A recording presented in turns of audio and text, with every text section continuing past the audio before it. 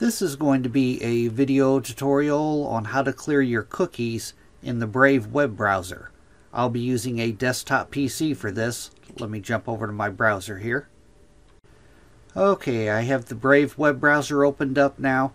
To clear your cookies in the Brave browser, first thing you want to do is go up to the three bar hamburger menu in the upper right hand corner. Click on it.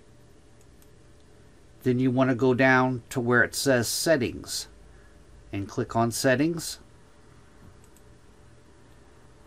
Now in the pane off to the left hand side here, you want to click on privacy and security.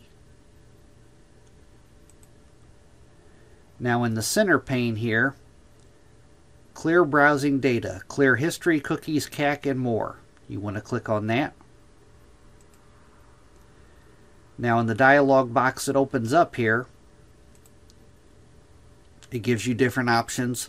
Do you want to clear your browsing history? If you didn't want to clear that, you would uncheck the box. I'm going to leave it checked. Do you want to clear your cookies and other site data? Do you want to clear your cached images and files? I'm going to leave them all checked. Up above, you have a uh, time range. Do you want to clear it all time? You can click on the drop down arrow. Do you want to clear your cookies for the last hour?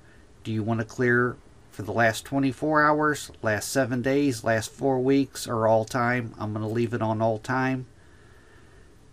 You have tabs up above here. If you want to click on advanced, it gives you the same options here. Plus it gives you more options. Do you want to clear your stored passwords? Do you want to clear your autofill forms? Do you want to clear your site and shield settings? Do you want to clear your hosted app data? If you wanted to clear any of that, you would just check the box. I'm going to leave it the way it is, and I'm going to click on Clear Data. Now my cookies have been cleared from the Brave web browser. Thanks for watching.